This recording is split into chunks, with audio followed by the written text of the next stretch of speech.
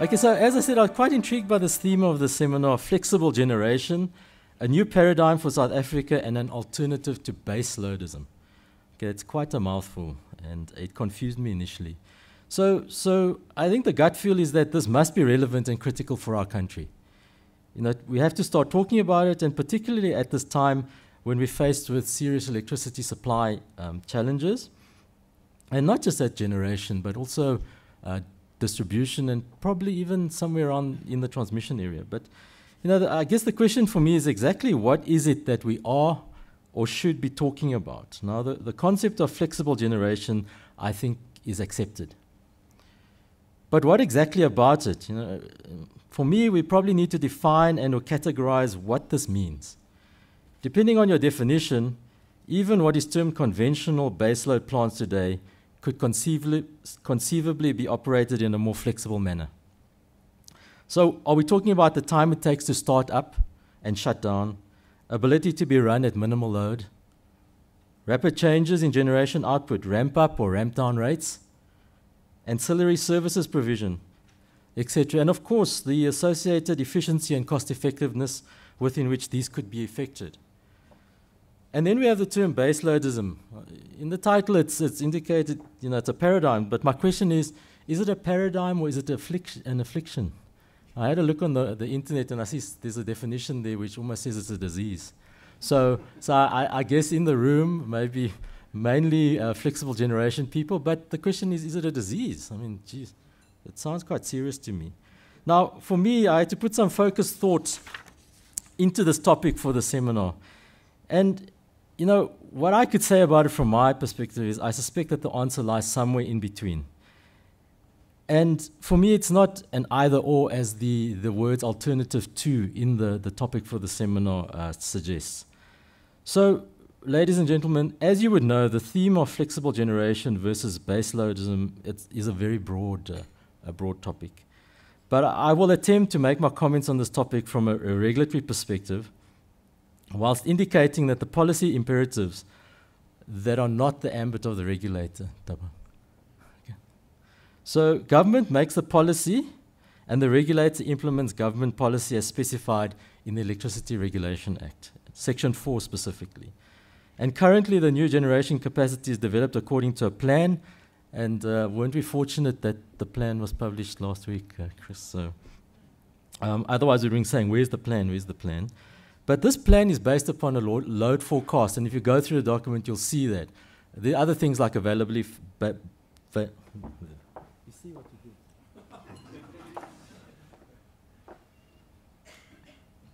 and the other things that also are considered, such as availability factors, etc. So, you know, this is, the plan is an attempt to achieve an orderly development uh, as required by the, the Electricity Regulation Act. Now, this is because capital expenditure for all of these types of plants is high. And nobody wants to end up with stranded assets, and, and that won't help any of us. South Africa, unlike uh, Europe and America, etc., is effectively an island in terms of the grid. Um, major development of the regional grid is required before the markets that are north of us um, can make a major impact on, on our supply system.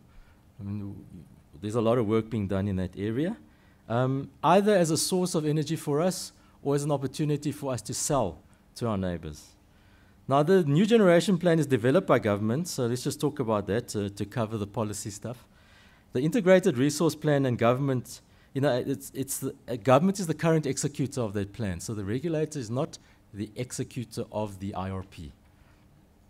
As you know, as we said, the the Gazetted IRP 2019 was published this past Friday, and I think everybody has their view on it. I've seen many different views around. Um, I won't be expressing one today. So now it's important to indicate that the current rounds of procurement for generation capacity have been following a, a strict competitive bidding process. Um, now, based on the IRP and in consultation with NERSA, the regulator, the minister is required to make determinations about what capacity, generation capa capacity is required. Its energy source, who will be the buyer and who will be the procurer.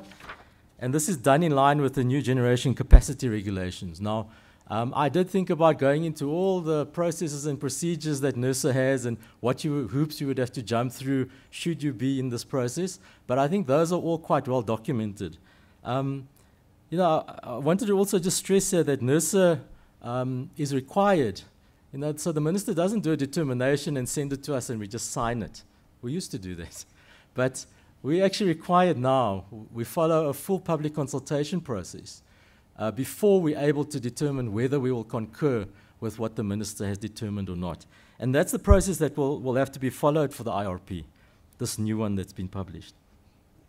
For generation capacity outside of this process to be licensed, there must be a deviation from the minister, um, or there are changes that have been proposed, uh, a second amendment to Schedule 2 of the Electricity Regulation Act, which allows for registration of certain facilities, specifically under one megawatt.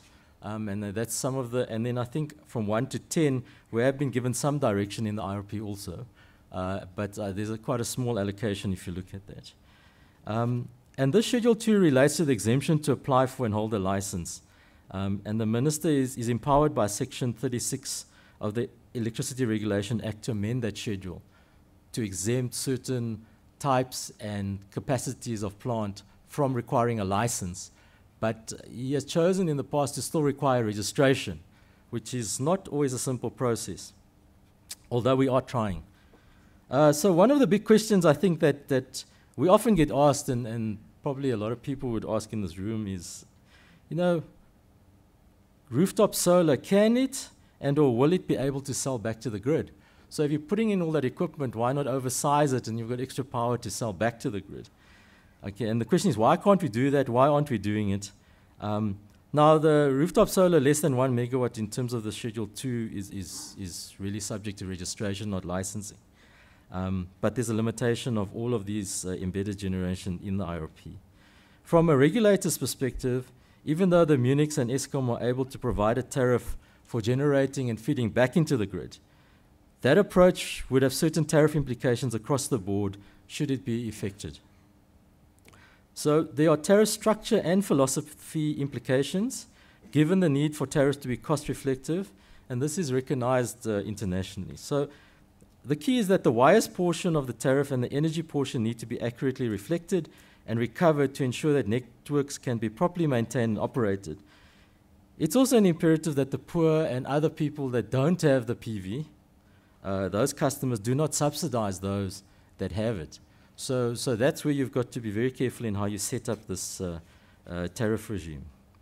Now, for us, this would be a regulatory requirement and a prerequisite for that feed-in to happen. Rooftop solar installations with storage, though, um, are of greater benefit to all parties, as that would help reduce uh, maximum demand of municipalities as well as the system. But given our seminar theme about flexible generation, now I also have to ask the question, so if you have a rooftop solar system but no storage, can that be considered flexible? Because I think in, in a lot of the stuff I've seen, PV is almost put forward as flexible. But without storage, you know, it's very difficult to say it is flexible.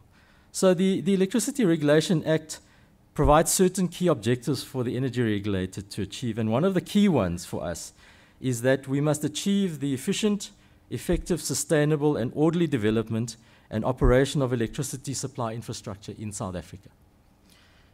Now, the key to this is the electricity supply infrastructure, which encompasses all of the electricity system from generation through transmission to distribution. So it's not just generation. And so it's not just a simple matter of what kind of gener generation mix is or should be present, um, in my view. This electricity supply infrastructure exists to provide for the load demanded by consumers. So, so I mean, that's where we all start, right? What is the demand uh, and what do people need in terms of electricity supply? Um, and then the load has to be balanced with supply. And the network frequency, I think it was mentioned earlier, has to be tightly controlled to ensure stability and quality of the electricity supplied. Generation on the grid must be controllable, predictable, and reliable. Otherwise, it's chaos. So we know that some portions of load on the electricity grid never disappear, and this load has historically been supplied by what is called base load generation. as this has been the most economical and logical thing to do. Because so, it was cheaper, it was more reliable, it was also dispatchable, or is dispatchable. Okay. Now, in our context in South Africa, variations in load were supplied mainly by variable base load generation. So, variable, flexible, tomato, tomato, I'm not sure how you look at that. Because this was the preferred option. And this was because of economics and reliability. The other required flexibility was catered for with the pump storage, hydro, gas, which is in reality the open cycle gas turbines running on diesel. Um, and the OCGTs were really only considered to be emergency generation. But as we know today, it's used pretty much as part of the system at great cost. So the historic South African generation mix, as well as the national grid, was developed for a certain load profile. I mean, I think if you even look in the, the IRP, you see these graphs that say what is the demand but it would be nice to say what is the shape of the demand and how does it change over time and how do you most efficiently and effectively cater for that. Now, if we had a flat profile, okay, I don't think we'd even be on this topic today because then you just want something that will run flat on. Okay, but we won't go to the nuclear thing. So, um, so the you know the the impact of the fourth industrial revolution, I think we would agree, on our current electricity systems is profound. Um, and I was at a, a, another event the other day. We were talking about the fourth industrial revolution, and um, you know, sometimes very hard to understand what that means, because the technology that we're using and all of the stuff has come from before. You know, when I was a bit younger, a lot of the stuff was developed, but the ways we're using them now are different, and the amount of connectivity, the amount of data, all of that stuff has increased. So, with all of that, I think the load profiles, the actual shape of the load, globally is changing. It's not like it was before. I mean, when I worked at Eskom, we knew there were these two humps in the morning and the afternoon, and the morning one was narrower and, and a bit higher, higher, and in the middle of the day it went down, and in the evening and the early eve late evening, early morning, it was really very low. You so you had a lot of excess there, but it's changed. A lot of it has changed. So we all, including me, want an electricity system that is more reliable, secure, sustainable, and efficient.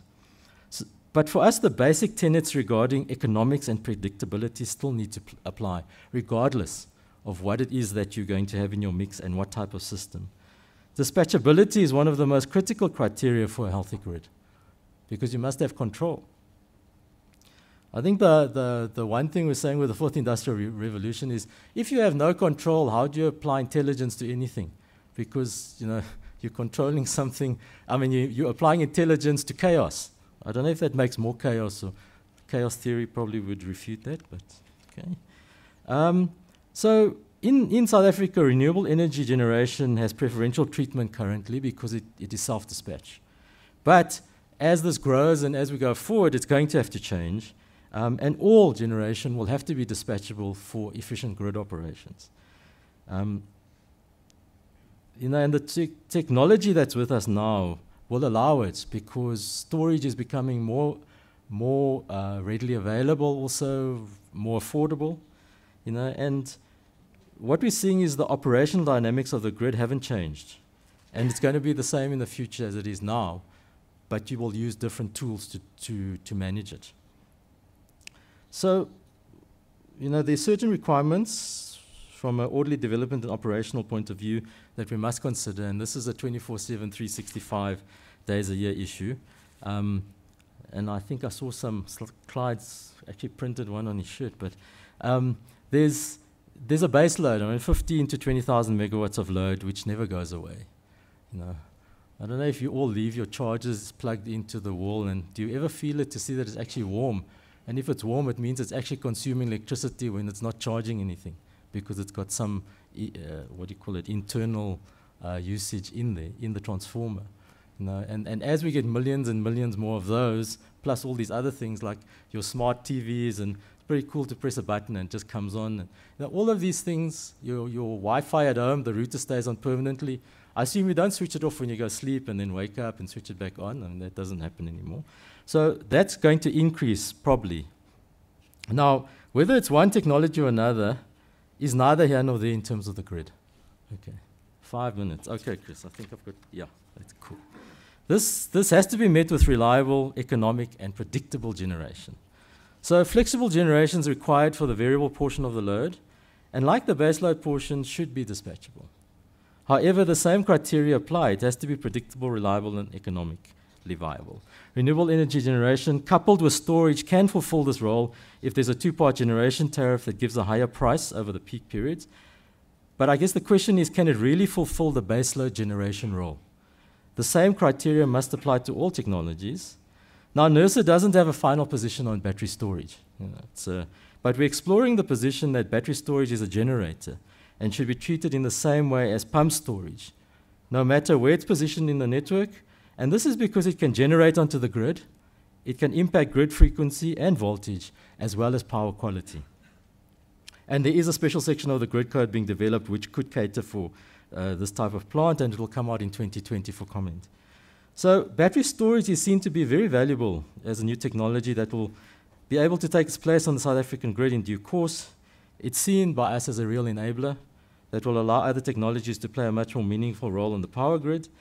Now, in terms of regulation, though, and we say this quite a lot, the regulator is technology agnostic. What we seek to ensure is that there's an adequate, reliable, sustainable, and affordable electricity supply provided to all South Africans through the most efficient and cost effective electricity supply system. Now, it's clear to me that a mix of the traditional baseload generation, variable baseload generation, and new age flexible renewable energy generation, coupled with an enabling digital smart grid and connected devices, or what is called the Internet of Things, will be required for the optimal electricity supply system of the future. So, from a regulatory perspective, it's relatively simple in many ways. Government sets the policy, and the derived electricity plan for the future to meet the needs of all South Africans. As the regulator, we must ensure that the plan is implemented in the most efficient and cost effective manner possible. And that the necessary electricity system infrastructure is in place to deliver that power from the generators to the end consumer. Investors must also be permitted to earn a reasonable return on their investments with the proviso that the investments are prudent and the plant is efficiently operated or the assets. So, in closing, you know, the question is flexibilism, because you made the one uh, affliction, so let's make the other one also an affliction. Flexibilism versus, versus baseloadism. Now, I, th I think neither can be considered in exclusivity. You know, to me, it must be a complementary combination, but I think all will come to naught if not enabled through a digital smart grid, because you can't have all of these technologies without the capability to connect them and as well as connected devices at the consumer level enabled through the Internet of Things underpinned by the fourth industrial revolution. Chris, that might be another topic. Uh, thank you very much.